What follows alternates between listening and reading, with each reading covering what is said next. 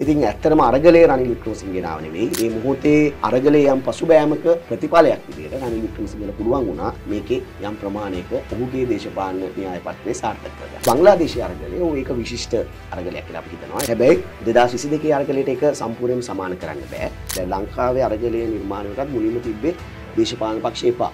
හැබැයි එහෙම කිව්වට අරගලය නිර්පාක්ෂික නෙවෙයි ඒක බහුපාක්ෂික උනේ. නමුත් අදටත් අපේ ප්‍රතිපත්ති ප්‍රකාශය පවා අපි ගෝල් ෆේස් වැඩ පිළිවෙල ඉදිරියට යන්න එක යෝජනා කරනවා.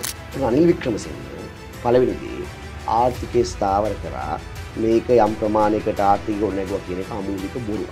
IMF එකකින් ඉවත් වීම, ඉන්දියානු මැදිහත්වීමෙන් ඉවත් වීම, අන්න ඒ වගේ මේකට සම්පූර්ණ ප්‍රතිවිරුද්ධ ආර්ථික කොමෝපාය තමයි අපි යෝජනා කරන්නේ. ඔබතුමා කියන සමාජවාදය කරා යන ගමනේදී උදව් කරන්න කවුද?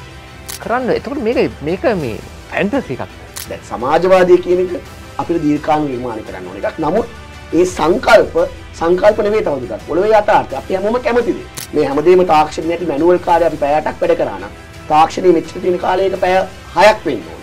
අප්‍රිකාවේ පහෙන් එකක් මේ වෙනකොට බඩගිනි ගියා. ධනවාදී සක්සස්. ධනවාදය අනිවාර්යෙන් ෆේල්. මේක දැන් බිඳ වැටිලා තියෙන එක මලකුණා. සමහර අය දැන් අවුරුදු එකමාරක තිස්සේ ජනාධිපති සූට් අනන්නේ මහන්සියට.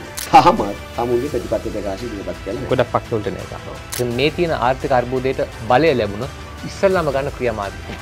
සමහර අය අපි කෙලින්ම ගෙවන්නේ නැහැ කියන එක ප්‍රකාශ කරනවා. ග්‍රීසිය කරා මේ කරන්න බෑ කියන එක අමු බොරුවක්. හැබැයි ග්‍රීසිය තාම ගොඩ ඇවිල්ලත් නෑ. ඇත්තම ධන කුවේරයන්ට ධනෙ උපේන අයට 150ක් රජයේ ආදායම ඍජු බදු ලෙස අපි අය කරගන්න කටයුතු කරනවා ක්‍රමානුකූලව. යුනිට් ඒකක 100ට වඩා අඩුවෙන් දවසට පාවිච්චි කරන පවුල් ගත්තොත් ඒ පවුල් වලට නොමිලේ විදුලිය දෙන්න. අදටත් මං හිතන්නේ අපේ අය කැමති CTB බස් එකේ යන්න. ඇයි? ඔබට ආගමක් තියෙනවා ඒක ඔබ අදහනවා. ඒකට රාජ්‍ය මැදිහත් යුතු නෑ. ජනතාව උත්තේ සමිතියට බැඳෙන්න ඕන. ඇත්තටම ඒකට බයින් එක වැඩක් නෑ. ජනතාව ඒකට සම්බන්ධ වෙන්න. දැන් මං අද අද ගියා නාම යෝජනා බාර දෙන්න. ඉතින් ඒ ජනතා නියෝජිත දැක්කම හිරිකිතයි.